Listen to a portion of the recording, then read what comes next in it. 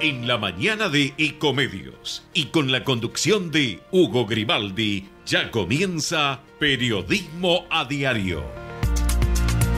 Desde este mismo momento vamos a analizar para los oyentes las tapas de los diarios de papel, el contenido de las páginas web y las tendencias de las redes sociales. Empezaremos a compartir títulos, notas, videos y fotografías a mostrar personajes y a recomendar columnas y enfoques. Y seremos implacables a la hora de identificar las noticias falsas. Para sumarle contexto a la información y para explicar qué se dice, qué no se dice, cómo se dice y por qué. De lunes a viernes, en Periodismo a Diario, a través de AM 1220 y por todas las redes sociales, le vamos a acercar el kiosco a sus oídos y mucho más.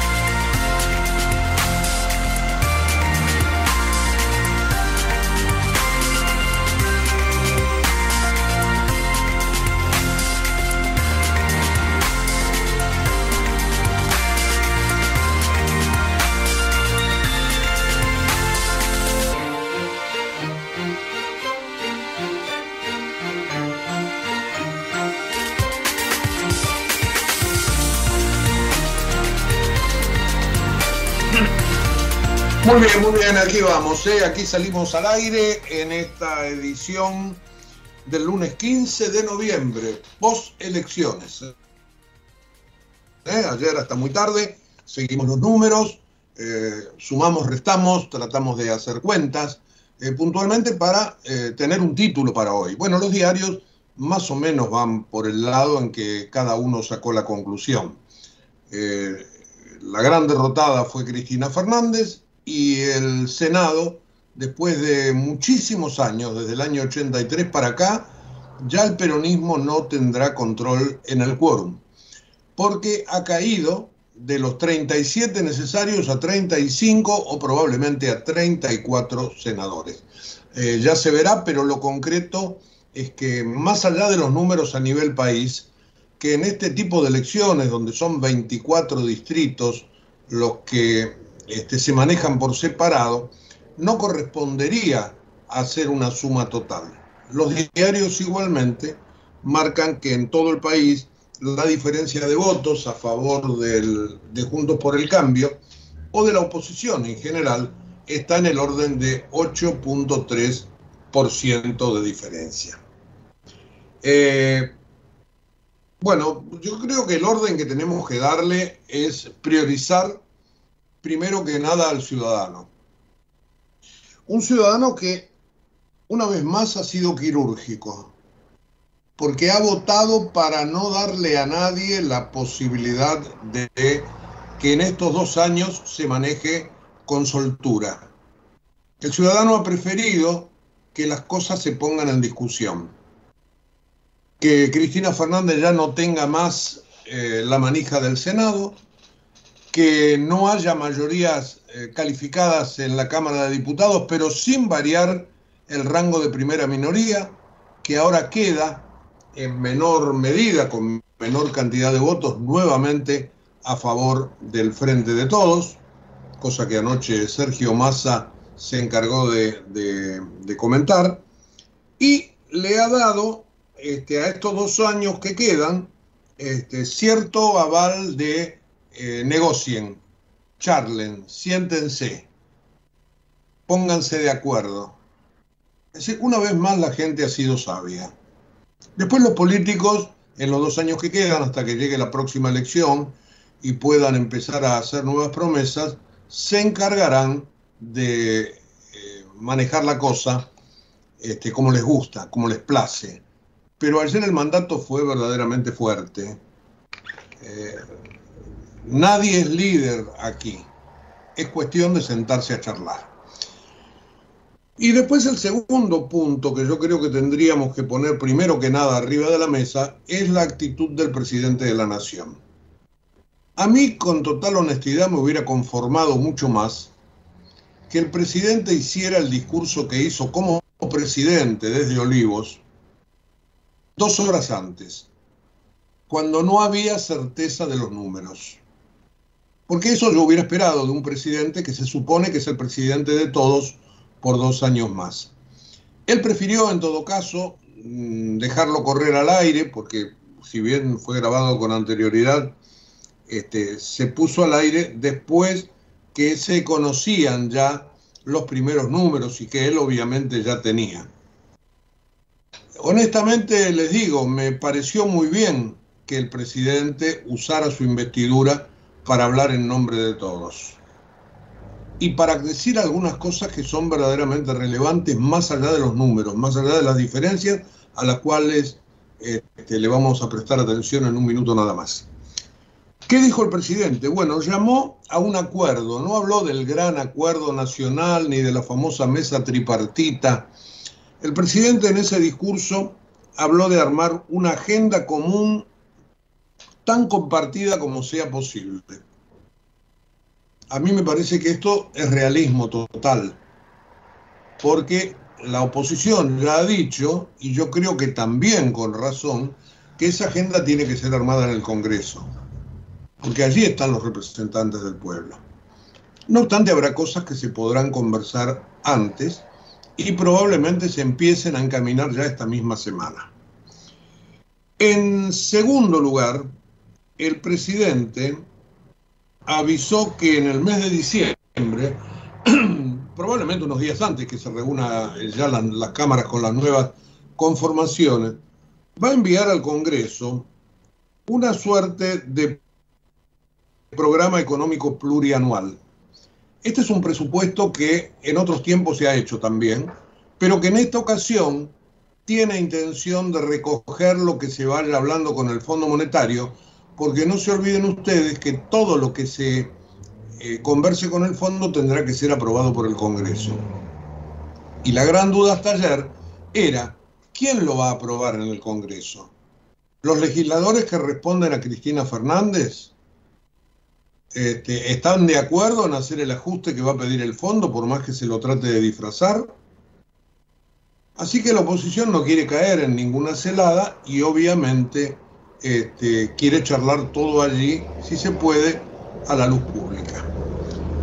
Otra cosa que el presidente marcó muy claramente fue la ratificación de Martín Guzmán como el negociador, como el ministro de Economía. Más allá de haber ratificado a todo el gabinete, lo nombró Martín Guzmán con nombre y apellido. Este es un mensaje interno porque desde muchos lugares del Frente de Todos, sobre todo del kirchnerismo, le habían pedido la cabeza del ministro y de su equipo durante los últimos días. La, idea era quizás entronizar a Roberto Feletti como ministro de Economía o como presidente del Banco Central. A la luz de los resultados, me parece que esto no va a ser.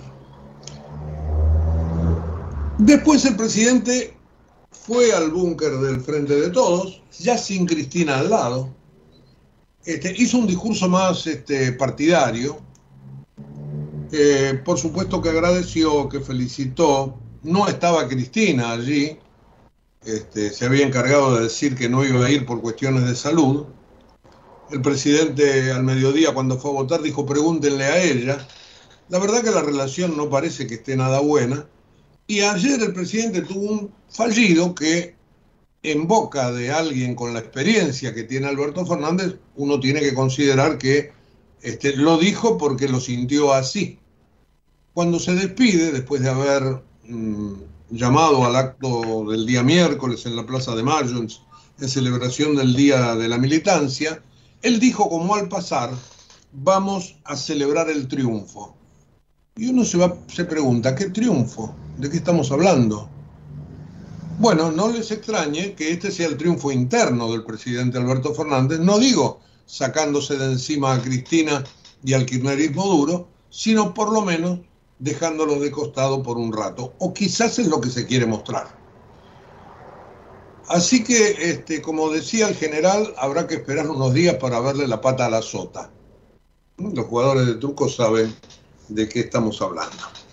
Eh, y lo del presidente ayer estuvo medido dentro de lo que le cabe a un sopapo de 8.3 en todo el país. ¿Por qué esta sensación de victoria?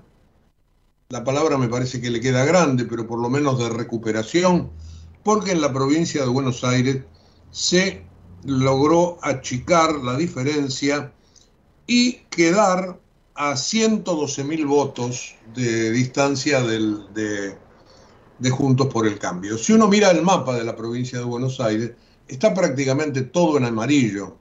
Hay un solo distrito, Mar Chiquita, en la zona costera, que tiene color azul.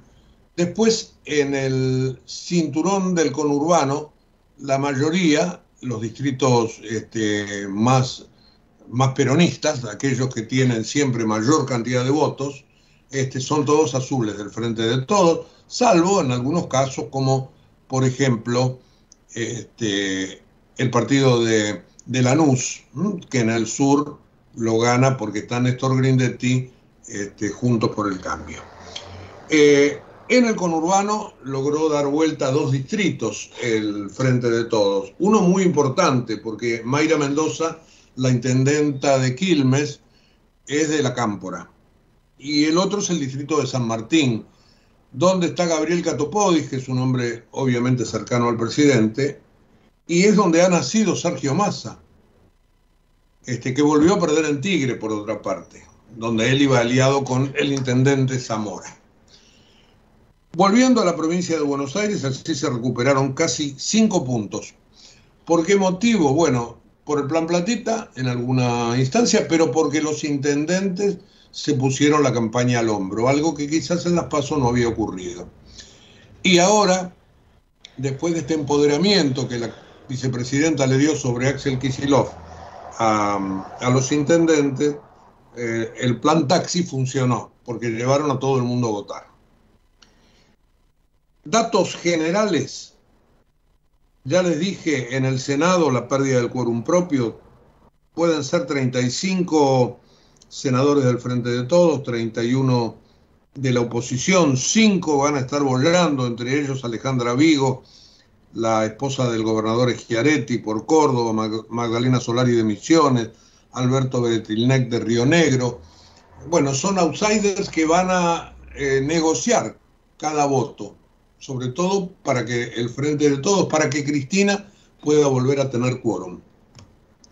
En la Cámara de Diputados, 118 diputados para el Frente de Todos, 116 para Juntos por el Cambio, sigue siendo primera minoría, así que Sergio Massa conservará la presidencia de la Cámara probablemente, y hay 23 eh, diputados enrolados en el rubro otros, la izquierda, los liberales, eh, algunos partidos provinciales, etcétera, etcétera.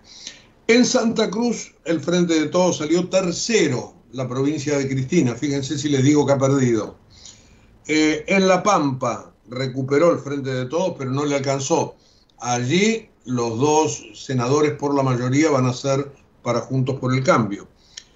Logró revertir en dos provincias, en Tierra del Fuego y en el Chaco. En la ciudad de Buenos Aires, el Frente de Todos ganó únicamente la comuna número 8, Villa Lugano, Villa Soldati, donde Javier Milei tuvo una muy buena performance otra vez. Eh, bueno, y una noticia, una novedad para Axel Kisilov, realmente este, para él fue en todo caso la novedad del día, es que ha logrado mantener el, el equilibrio que necesitaba en la Cámara de Senadores. Consiguió senadores, logra empatar la cantidad de bancas, 23 a 23, y en ese empate define Verónica Magario, la vicegobernadora de la provincia. Así que desde ese punto de vista, este, la provincia de Buenos Aires también quedó equilibrada. Como verán, eh, la, lo que les comenté al principio, la gente actuó de modo quirúrgico. Puso su voto donde realmente necesitaba mayor equilibrio. Y apostó, me parece a mí, a favor del diálogo. Por eso esta celebración del triunfo del presidente ayer este, suena un poco descolgada. Pero bueno, como lo dice la tapa de la nación, ¿no? Este, el gobierno sufrió otra dura derrota, pero lo presenta como una victoria. Bueno, es así. El cronista, tras la derrota, Alberto llama al diálogo y acelera con el Fondo Monetario. El economista, un poco haciéndose eco de las palabras del presidente, el gobierno comienza hoy una nueva etapa. Crónica ganó Juntos por el Cambio y Alberto llamó a un acuerdo nacional. Eh, el gobierno perdió las legislativas, dice va en negocios y deberá abrir la negociación política. Y ámbito financiero, acuerdo con el Fondo Monetario y Plan Económico, se debatirá en el nuevo Congreso. Cosa que efectivamente va a ser así.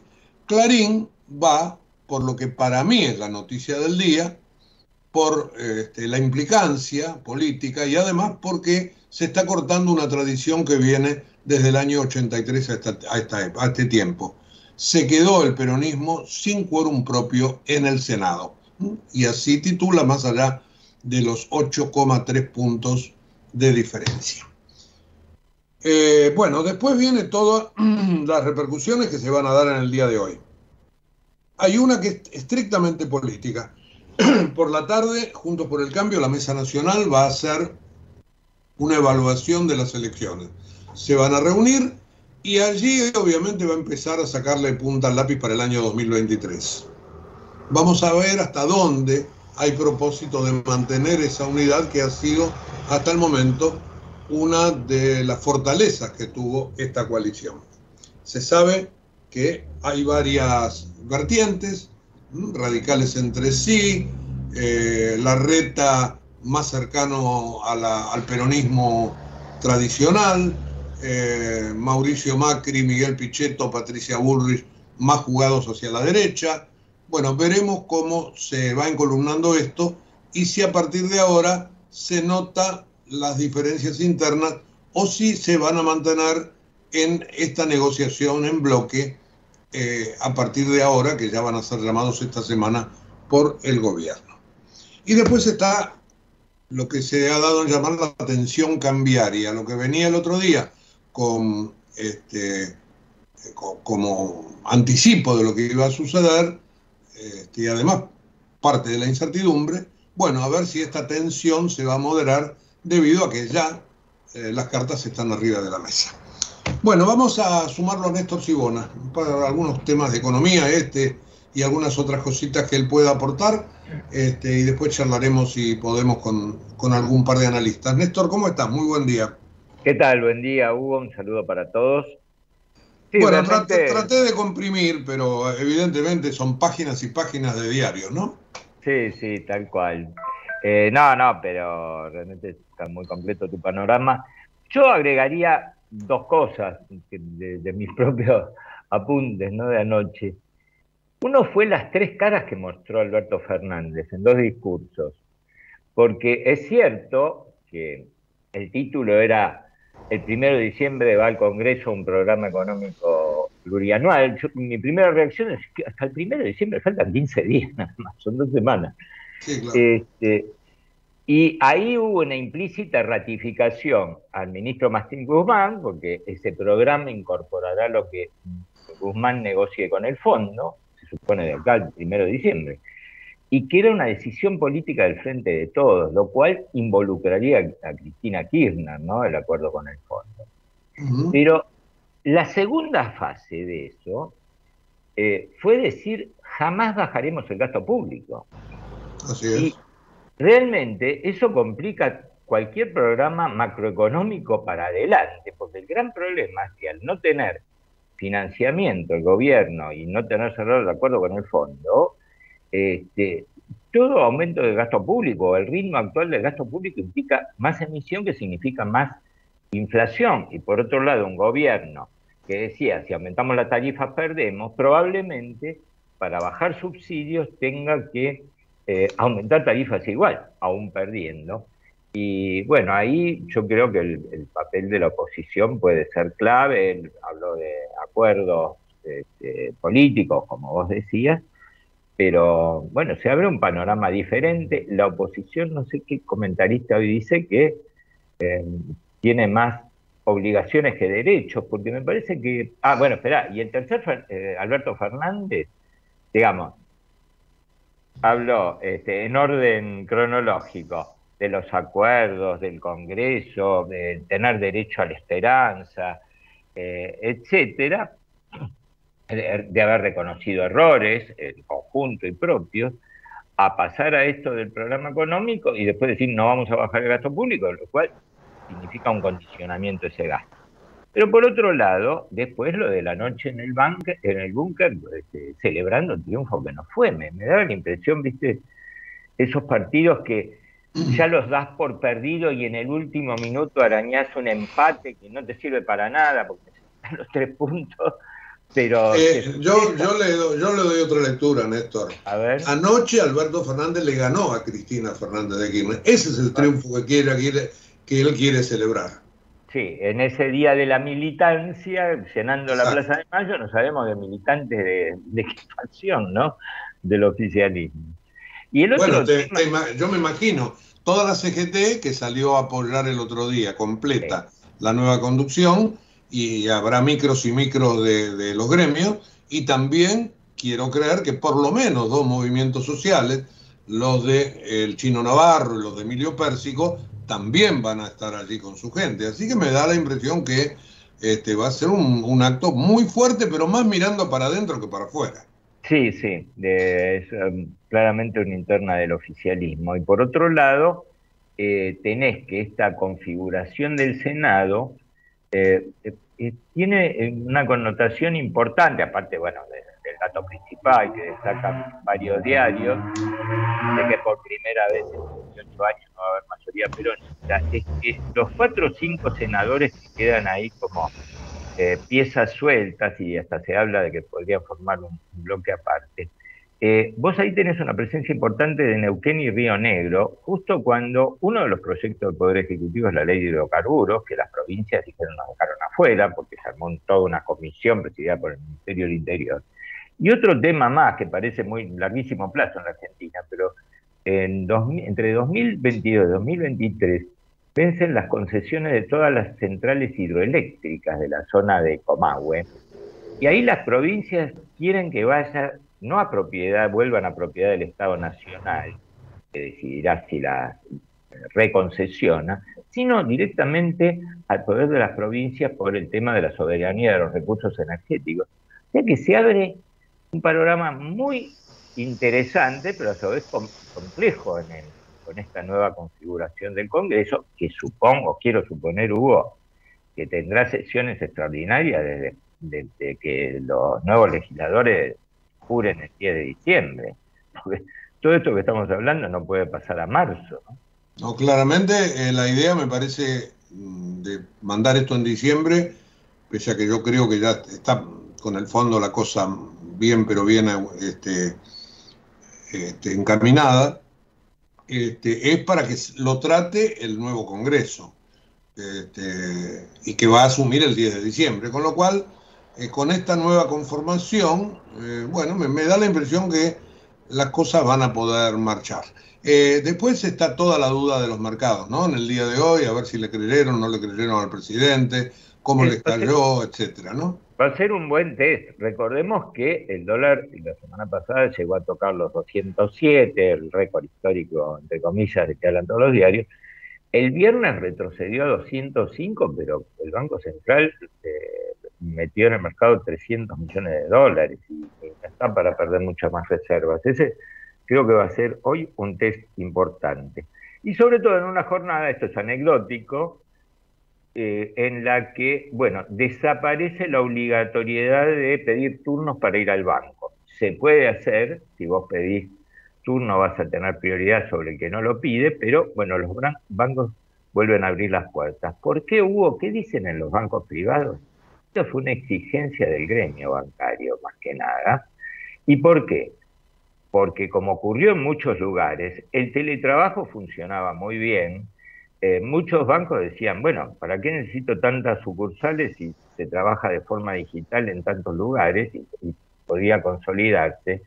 Y el gremio dijo, no, volvamos otra vez a la presencialidad porque si no se achica un sistema que es chico estructuralmente, porque eh, la Argentina tiene unos niveles de, de, depósitos y créditos eh, con relación al Producto Bruto Interno más bajos del mundo, ¿no? del mundo y de la región, cinco veces menos que Brasil. Así que ahí hay Néstor, me quedó una cosa en el resumen que hice a principio. Dije que lo había ratificado a Martín Guzmán. Eh, obviamente que durante el día dijo que no iba a haber cambio de gabinete, también lo dijo el presidente cuando fue a votar. Pero hay un punto que está también dando vuelta, que en estos apoyos que el presidente ha buscado está la famosa Liga de Gobernadores. Allí estaban por detrás tres gobernadores liderando o queriendo liderar en todo caso los apoyos. El primero, este, Juan Luis Mansur, el jefe de gabinete, que ayer se fue a Tucumán a celebrar una victoria verdaderamente bastante magra, porque este, con respecto a las, a las PASO fue este, mucho menor. Sacó 20.000 votos de diferencia a favor el Frente de Todos en una provincia que siempre ha sido nítidamente peronista. Así que Mansur no parece ser el gran ganador. El de por, dos puntos apenas. Por eso. Y, tiene su propia interna con el Por eso, por eso. Así que. Si vuelve como jefe de gabinete incluso. Bueno, e, e, ese es un punto que habrá que verlo. El, otro que puede ser líder este, es este Omar Perotti, pero ha perdido ayer. Y está el caso del gobernador Schiaretti, que perdió, pero igual se llevó un senador, que es su esposa, Alejandra Vigo, que irá al Senado. Este, y allí en la provincia de Córdoba, y acá se explica mejor eh, lo que dijo contra los cordobeses el otro día el presidente de la Nación. Este, había que correrlo a Schiaretti del centro de la escena para darle juego a Mansur. Me parece que eso ha sido parte de la interna de los gobernadores. Ahora, nadie ha quedado ahora como un líder de la Liga de Gobernadores como para apoyarlo al presidente. ¿Quién? ¿Es Chiaretti? Eh, perdón, este, digo, Insfran Capitanich, que, que ganó nuevamente su provincia, eh, ni digo Rodríguez A, que ha perdido eh, a manos de Claudio Poggi en San Luis. Con lo cual, a mí me, me da la impresión que el tema de los gobernadores como apoyo explícito pasó a ser testimonial de ahora en más. Así que las patas son CGT, movimientos sociales y estos gobernadores que van a mirar de afuera, por supuesto, este, diciendo lo suyo, pero sin jugarse demasiado. Así que este, este era el, otro punto que me parece que anoche este, los analistas estaban tratando de armar en este mapa que se abre a partir de ahora nada menos que por dos años. Así que este, allí hay que, hay que mirar ahora esta semana cómo se realinean las fuerzas. Y un dato eh, que también es importante ver, Néstor, que hubo muy poca asistencia al comicio ayer. Algo más que en las PASO, pero mucho menos que en las legislativas de hace cuatro años. Pero mucho menos, no, muchísimo menos. Así que acá hay una cierta desidia, ¿no es cierto?, de la gente, más allá de la situación social de muchos que no les interesa votar por políticos que finalmente eh, lo único que hacen es darle dádiva y no les muestran futuro. Así que me, da la impresión que hay que leerlo también, hay que leer también ese dato. ¿eh? No, y sí, realmente. Eh, entre los gobernadores dañados yo te agregaría a Uñac, que en algún momento tenía alguna pretensión, y ahí ayer ganó también por un pelito, por un punto y medio. Y con respecto a la votación en general, hay que tener en cuenta que nadie se puede dar por súper triunfador en el sentido de que hay mucho voto en contra en la Argentina, no ahora, desde hace 10 años. Hay gente que no vota porque le encanta la oposición, sino porque considera que el oficialismo es peor y viceversa. Y eso, bueno, es una característica política que si me das medio minuto más, eh, se agrega otro, al ser Héctor Torres, ¿te acordás? El, ex representante argentino en el fondo, mandó un tuit muy sugestivo con respecto a la negociación por la deuda, porque reprodujo una frase que dijo el, secretario general de las Naciones Unidas, eh, Guterres, diciendo que él eh, coincidía con que a los países de ingresos medios había que ayudarlos para salir del problema de la deuda, y que la Argentina era un caso aparte, realmente muy llamativo. Y bueno, estas cosas eh, le ponen unos desafíos fantásticos al Congreso, pero realmente creo que es lo que pasa en todos los países. Acá nos acostumbramos muy al gana Boca, vamos para un lado, gana River, va para el otro, y así vamos cambiando y siempre estamos en el mismo lugar. Bueno, no, no, no, sí, nos vamos a la tanda, Néstor, nos vamos a la tanda. Digo, parte de todo esto se explica también con las presencias de, de Javier Milei y de José Luis Espert, como que han tenido los más eh, nuevos, los, los, nuevos aires de la política, ahí también su inserción, el crecimiento de la izquierda. Digo, es como que la gran polarización de a poquito va teniendo fugas. Pero lo hablamos en un ratito, nos vamos a una tanda como para mm, hacer una separación. Después, si podemos, hablaremos con algún economista que nos ayude a pensar qué puede venir de aquí en más. Enseguida volvemos.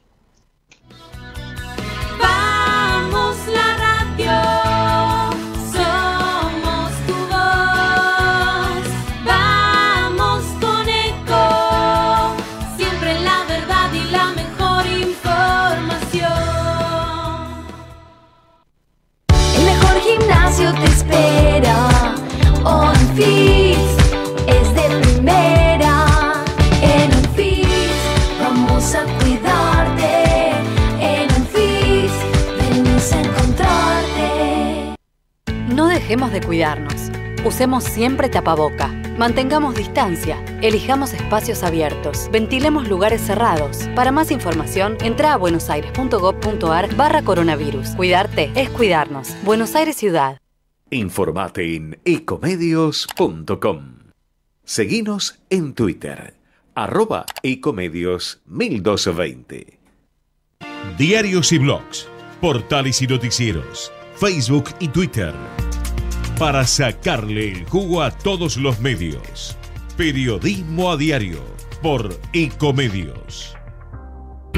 En Galeno innovamos para cuidar tu salud haciendo todo más fácil, ágil y seguro. Por eso a través de la app Galeno, cada mes realizamos más de 100.000 videoconsultas médicas, más de 200.000 gestiones administrativas y más de 200.000 turnos médicos online.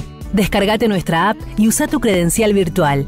Galeno, te cuidamos todo el tiempo. SS Salud, órgano de control 0800 222 Salud, web sssalud.gov.ar. No dejemos de cuidarnos. Usemos siempre tapaboca. Mantengamos distancia. Elijamos espacios abiertos. Ventilemos lugares cerrados. Para más información, entra a buenosaires.gov.ar barra coronavirus. Cuidarte es cuidarnos. Buenos Aires Ciudad.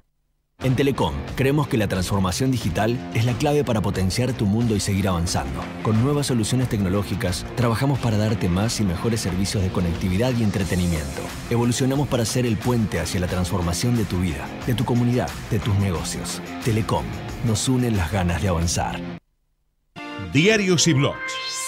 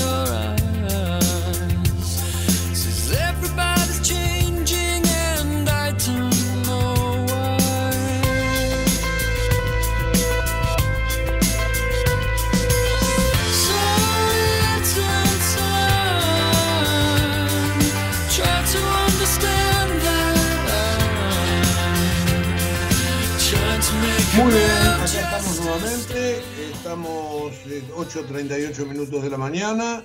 Repaso los datos del servicio meteorológico. Sol pleno, cielo despejado, 23 grados 2 la temperatura, 30 de máxima para el día de hoy. El viento sopla del norte a 13 kilómetros por hora, así que por eso eh, comenzará a subir hoy la- las, mar- las marcas térmicas. Este, les reitero, van a llegar hasta 30 grados. Esta noche tormentas que seguirán durante toda la madrugada y esto va a producir una baja de las marcas térmicas para mañana.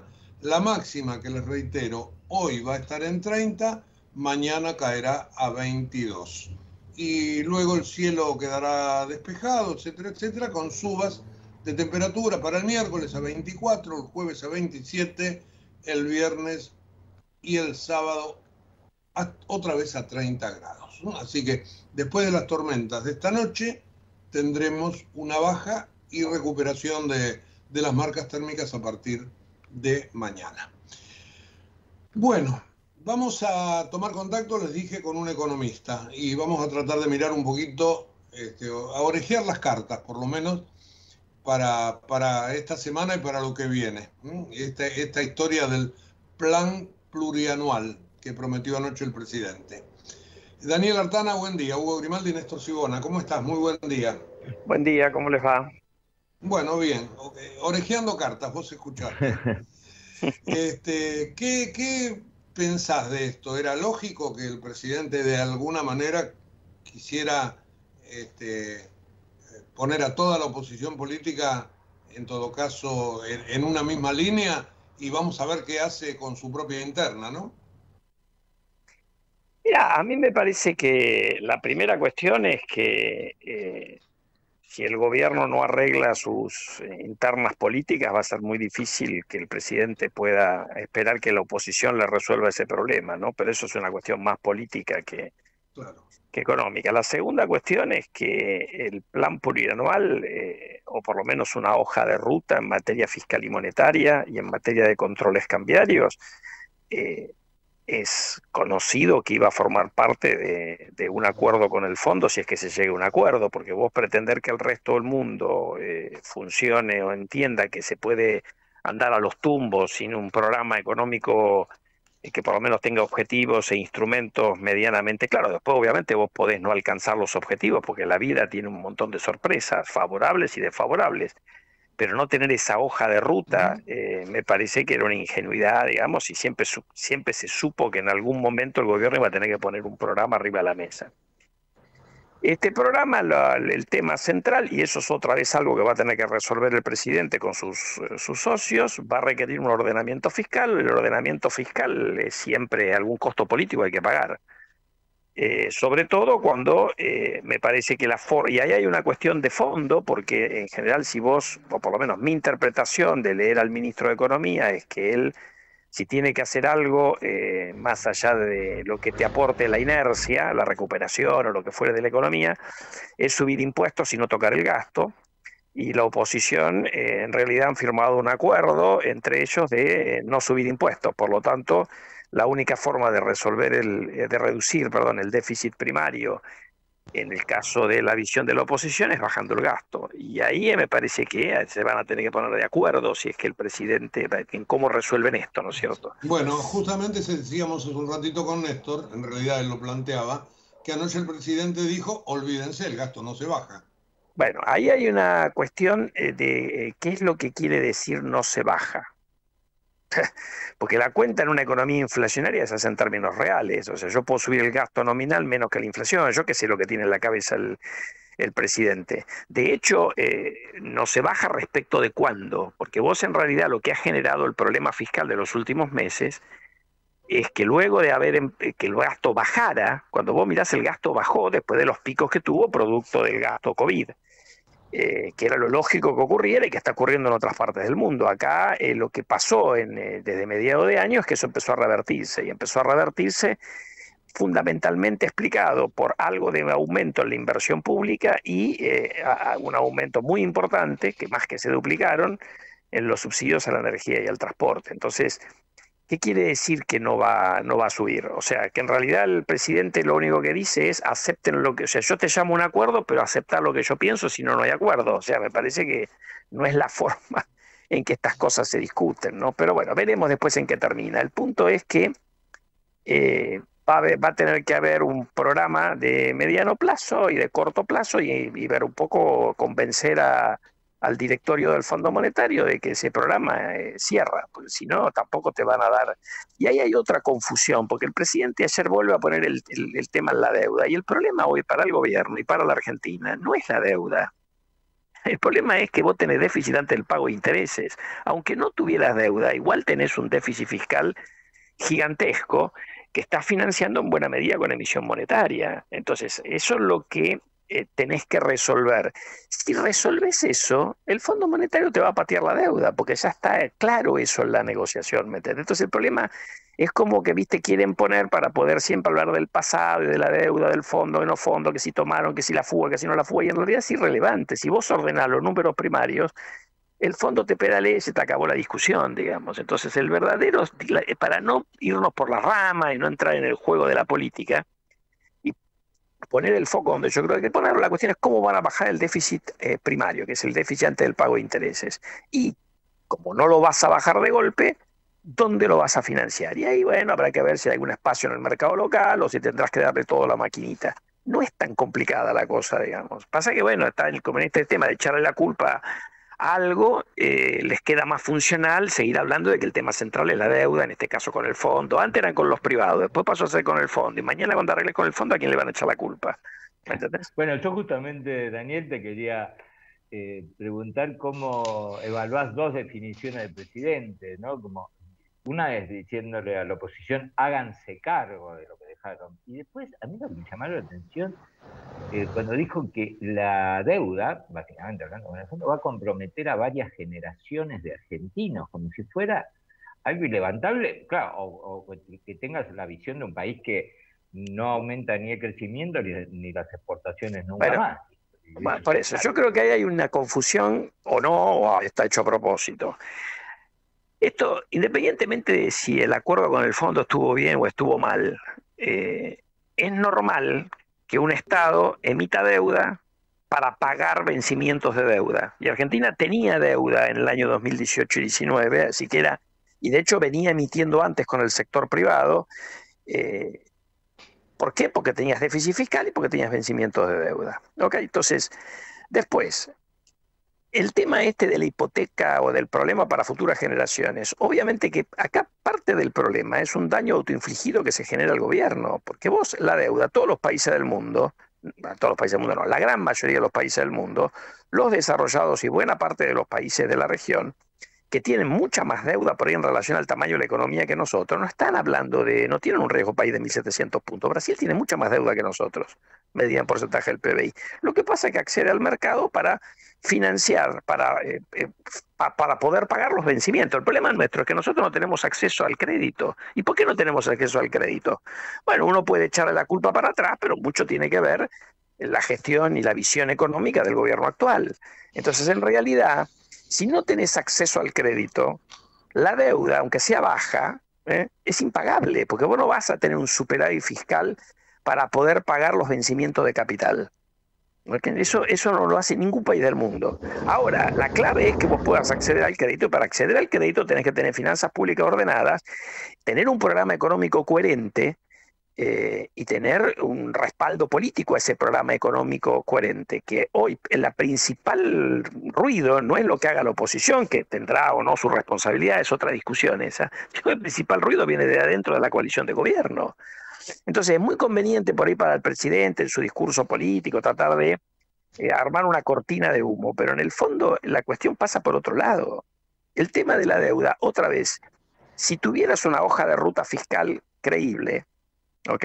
Creíble, y la, vas cumpliendo y vas bajando fuerte, digamos, el déficit fiscal, no vas a tener problema en refinanciar la deuda cuando llegue el momento de tener que ir al mercado de capitales para, para financiar. Porque de hecho, si pateás con el fondo, tenés vencimientos muy bajos de deuda hasta el año 2025-2026. Entonces, en realidad estamos discutiendo eh, por las ramas, porque nadie se quiere sentar en el gobierno a decir cómo vas a bajar el déficit fiscal. Esa es la verdadera historia. ¿me entendés? Y ahí hay alguna discusión, ¿no? Como no es un tema trivial, vos pensás que el año que viene perdés el aporte solidario, vas a perder el- los derechos especiales de giro que no se van a repetir y, y no vas a tener tanto impacto positivo adicional por las retenciones. Entonces, no es que los números fiscales del año que viene es fácil. No, va a haber que hacer un esfuerzo, que es parte del, del aumento de gasto que se mandaron desde el COVID eh, para acá y que no bajó a medida que el COVID va pasando a, a- pegar menos en la economía, ¿no es cierto? Eh, Daniel, ¿cómo, ves la mm, repercusión que puede llegar a tener en mercados? No, no, no me refiero al precio del dólar únicamente, digo, este, el mundo este, que mira a la Argentina, ¿de alguna manera va a cambiar la perspectiva por este resultado o todavía quiere ver mayor cantidad de, de datos posibles arriba de la mesa? No, mi impresión es que va a querer ver, a ver, primero, si el resultado de ayer te hace ver que va a cambiar el gobierno y te vas a mover hacia un gobierno más moderado, eso va a ocurrir en el año 2023, faltan dos años y pico para el 2023. Primero hay que transitar dos años que lucen complicados porque tenés un gobierno bastante confundido en materia de política económica y en materia de, de división de la economía. El, lo que estábamos hablando reciente marca un poco el grado de confusión, digamos, ¿no es cierto? Pero bueno, puede haber sido un discurso de, de- para la militancia, si querés. Eh, así que mi impresión es que está allí. Además, eh, no te olvides que el- la alternativa hoy al gobierno actual es un gobierno que en materia económica no le fue bien. ¿Me entendés? Entonces tampoco habrá que ver ahí eh, si se empieza, a- si se visualiza que tienen un programa económico eh, que al- por lo menos en materia macroeconómica lidere o, o- o, eh, encare los problemas eh, que tenés en materia de déficit, de inflación y además la cuestión estructural. Entonces parecería que va a haber algo de eso en la, en la oposición, pero no lo sabemos. Entonces eh, me parece a mí que vos tenés una... Argentina tiene un nivel de, de- de- de- baja credibilidad tal que me parece que estás en un momento que lo único que te creen es lo que pongas al contado, para ponerlo de alguna manera. O sea, vos podés prometer, podés ser Gardel, pero no te van a creer. Por ahí estoy exagerando, pero digo, no, no, no es que acá tenés mágicamente un cambio de gobierno o un cambio de equipo económico o, o el presidente se mueve hoy para otro lado y mágicamente te van a creer, ¿no? Van a querer ver que puedas ir avanzando si es que agarras para el lado correcto en concretar ese rumbo, no alcanza a comprometer acá. Me parece a mí, ¿no? Sí, y con el agravante, Daniel, que el gobierno herede la- la- su propia herencia, ¿no? Lo que deja este año, comenzando por una inflación arriba del 50%. Atraso cambiario, que no es grave, pero sí una brecha cambiaria importantísima, y tarifas que daría la impresión que sería una de las principales vías para bajar el gasto en subsidio, que es, es- es enorme. Eh, ahora, ¿esto no genera más inflación hacia adelante para el 2022? Yo creo que el primer semestre del año 2022 va a estar complicado, ¿no? Porque vos tenés a eso agregarle el control de precios, ¿no? Sí, y más si el control de último precios, como parece indicar, te marca que la inflación baja en noviembre. Porque ahí se van a enamorar del instrumento que todos sabemos que puede tener un efecto transitorio. ¿No? Porque el, tema es que en octubre no pegó por la forma en que se mide la inflación, era difícil que te pegara mucho el control, pero en noviembre te va a dar para abajo la inflación. Entonces vas a tener la radicalizada diciendo, ¿viste que funciona? En esta visión cortoplacista. Pero bueno, eso lo venimos hablando hace tiempo, digamos, nosotros lo venimos marcando hace tiempo. Vos tenés acá una cantidad de problemas que se van pateando de las tarifas, las tarifas de, en febrero que subieron menos de un tercio de lo que estaba previsto en el presupuesto, presupuesto que aprobó la bancada oficialista, ¿no? Y después le enmendaron la plana al ministro de Economía. Después tuviste desde mediados de año una política cambiaria claramente electoral, devaluando al 1% mensual, que no era consistente con lo que hacías en materia fiscal y monetaria. Y a eso sumale en octubre, o, fin- así en octubre fue, ¿no? el, el control de precios. Todo eso patea problemas para después. Entonces, y además, perdón, sumale que empezaste a expandir el gasto de vuelta, porque el gasto venía bajando y empezó a darse vuelta a partir de mediados de año. Entonces, vos lo que tenés es un cóctel para el año 2022 complicado, pero es un cóctel donde, a ver, el gobierno se tiene, me parece a mí, ¿no? Se tiene que hacer cargo de esta, de esta, esta, esta plancito electoral que, como dije antes, empezó mucho antes de las PASO, empezó a mediados de año, y tendrá que hacerse cargo de pagar las consecuencias de, este, de esto, ¿no es cierto? Eh, así que me parece a mí que vamos a vivir con una inflación alta bastante tiempo, más allá de que por ahí en el corto plazo, por los índices te den un poco para abajo, producto del control de precios. Y una última de mi parte, Daniel.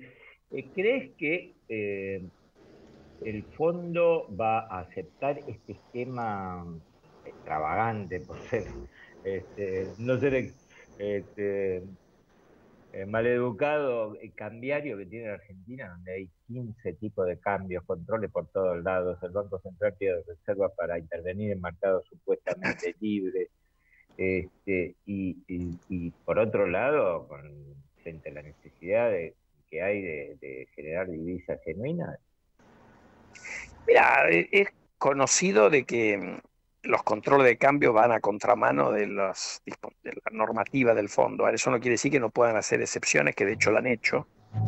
En una, en de hecho, debe haber hoy una, un- alrededor de 15, 20 países que tienen controles de cambios. O sea, eh, el tema es que vos tenés que ir mostrando que vas a resolver el problema. Y Ah, ahí lo que seguramente le van a pedir es una cuestión cambios, pero no ¿Cómo?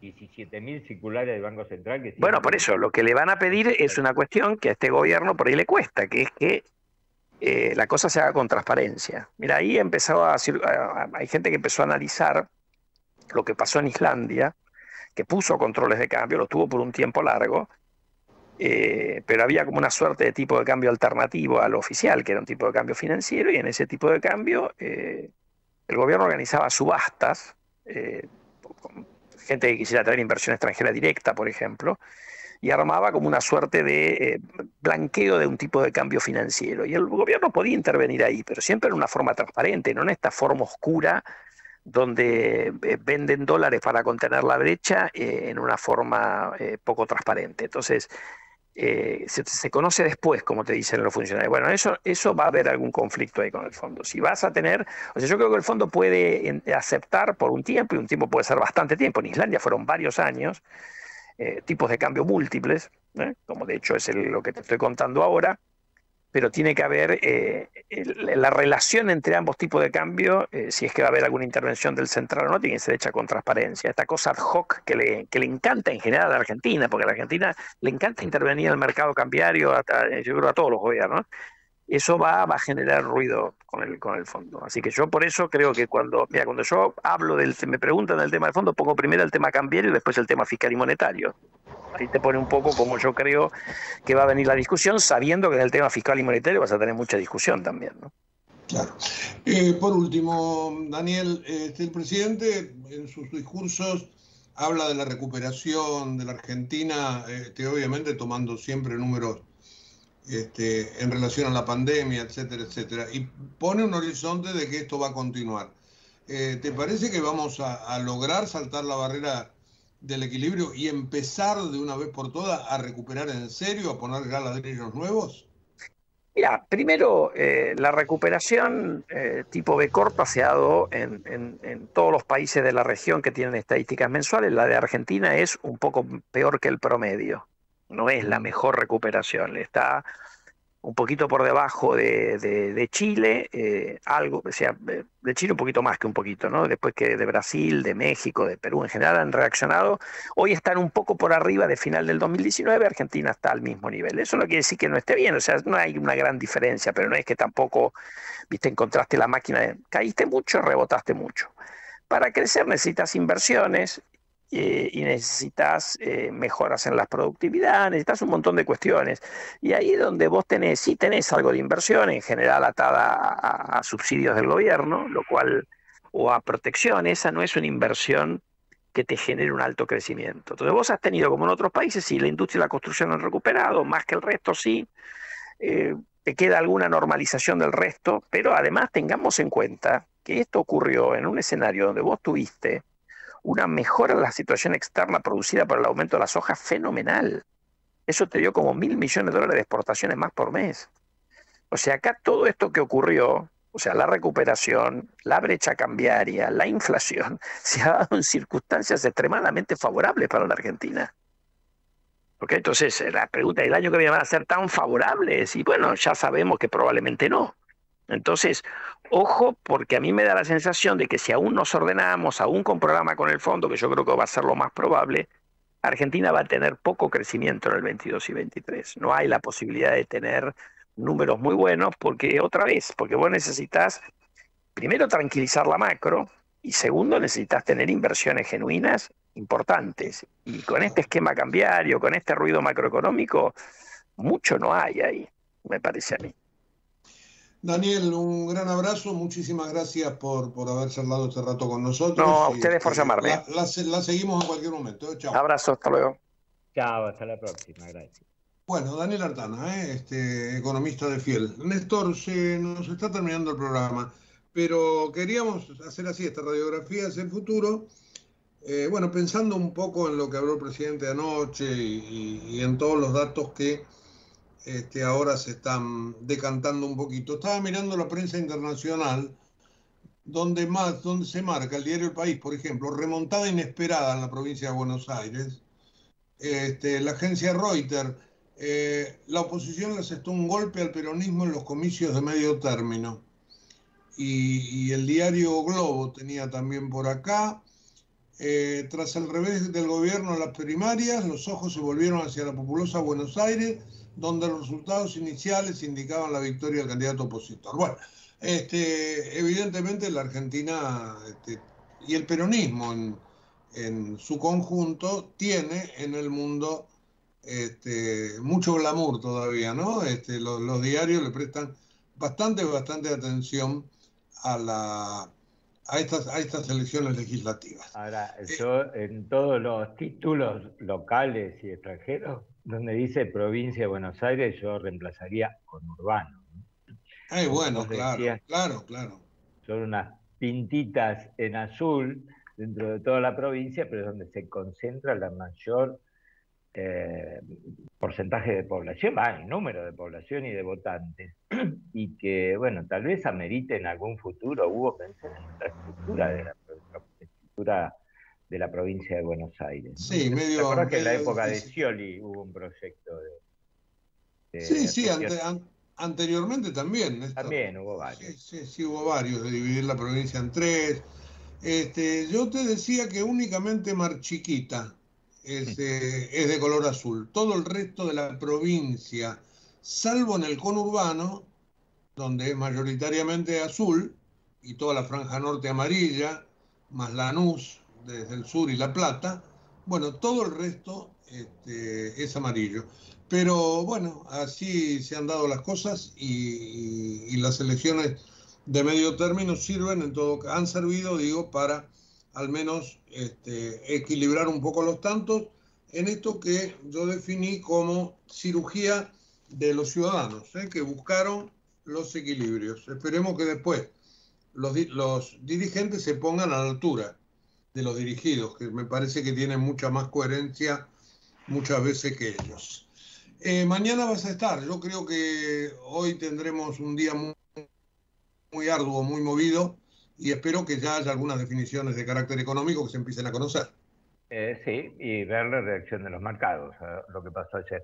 Acabo de recibir un comunicado de la Cámara de Comercio, eh, bueno, donde eh, fija su posición eh, después de las elecciones y dice que, bueno, aparte de los consensos que se puedan buscar en el Congreso, pide que también se llame a los sectores eh, para tratar problemas como la pobreza, el empleo, la presión impositiva, eh, dificultades de importación, industria del juicio, bueno, son una agenda enorme que tienen por delante la Argentina, nos guste o no.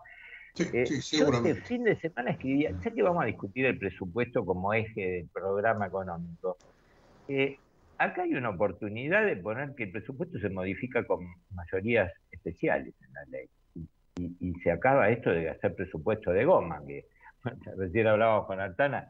Decir, sí, bueno, el gasto este, puede no bajar en términos nominales, pero en términos reales se puede desplomar y bueno, eso es, es tener ese- esa cuestión de un presupuesto que, que no es creíble nunca, ¿no? Empezando por los propios supuestos con lo que fue formulado. Bueno, nos tenemos que ir, Néstor. Este, efectivamente, el día de hoy ya nos va a dar este, mucho, mucho material para mañana. Eh, yo re- reitero lo que dijo el presidente ayer. Ya no se habla de un acuerdo nacional, ni una mesa tripartita, ni de todos los sectores, ni de todos los temas. Una agenda común tan compartida como sea posible. Y eso me parece que es, este, bueno, mucha racionalidad, ¿no es cierto? Porque el voluntarismo de que todos juntos, la unidad, todo eso, no, no, no funciona. Así que Empezando por cada una de las propias fuerzas. Obviamente, mirando cada cual para su propio, para su propia interna. Hasta mañana, Néstor. Chau, ¿eh? Chao, hasta mañana. A los oyentes otro tanto. Hasta mañana. Volveremos mañana, por supuesto, a las 8 con Periodismo a Diario. Hoy hace 600 días que estamos trabajando a distancia con la radio este, desde casa. Así que este, está para celebrar. Este, 600 días. Todo surgió por la cuestión de la pandemia, por el encierro, pero el sistema ha funcionado y muy bien. Que la pasen lindo. Eh, volveremos entonces mañana a las 8 con más periodismo a diario, edición 201. Chao. Desde Buenos Aires, transmite LRI 224, AM 1220, Ecomedios